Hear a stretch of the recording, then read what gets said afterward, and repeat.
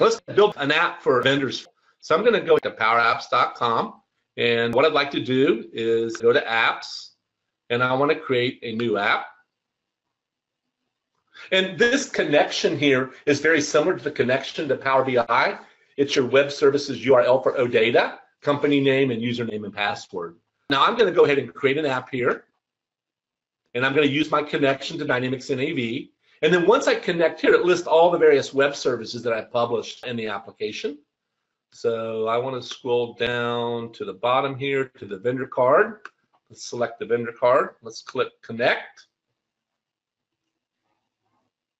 It might take a second here to get things ready to build the app. It's going to build the app, a list of vendors. If I click on one of those vendors, it'll give me card detail. And then if I want to edit, there's another screen it creates for edit capabilities. And what I want to show you here is how you actually can modify these screens based upon the template getting created. So as we look at the vendor card here, we can see the vendor number. And what we can do is select the browse gallery here, for example. Let's go ahead and select that. And if I come over here and click on data, with this created template, there's basically three fields. There's the block field, the name field, and the number field. What I'd like to do is put my customer name up on top where it's bolded. So I can select here to get a list of my customers. I can select the name. And I want to put, say, the contact name here in the subtitle. And just go up a little bit here and grab the contact name.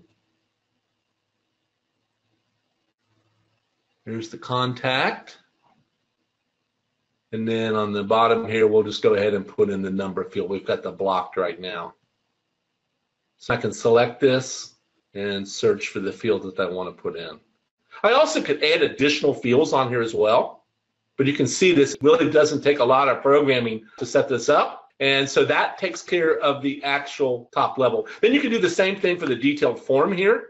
I went down to the detailed form, and this is when I click on the list and I get into the edit function. This is a display form on there, and I had the same capabilities here. So for example, if I want to take things off, I just have to simply double click. I don't want to see the search name. I don't care about seeing the block field, but I would like to see the phone number and the contact name. And I can do the same thing I did before. So let's just put the contact on there, and then I can add the phone number.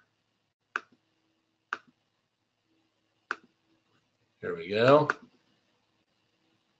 And then once I've added those, if I scroll back to the top of the list, I can then resequence them in the sequence that I want.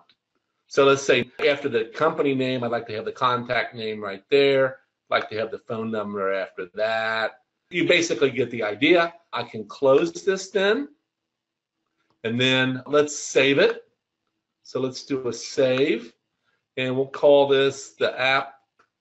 This is a vendor maintenance.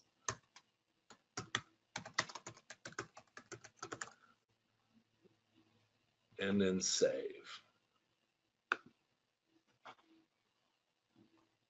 Save this to Power Apps. We'll go back and then we'll actually take a look at running the app. So let's run back here. Actually, within Power Apps at any time, you can come up here to the screen and click Preview. And this is actually now running the app. So let's go back, look at the list here. You can see my various vendors, the information I've put in. If I wanted to add a new vendor, for example, could just click here. Let's see, vendor one.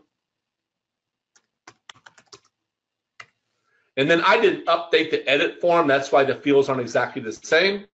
But we'll just go ahead and click this and that'll add vendor one. And if I resort the vendors, this is just a resort, it adds vendor one right here. You can see I added that vendor with the card. So that gives you a little introduction of how to use Power Apps to very easily create ability to view data as well as to enter data into the application.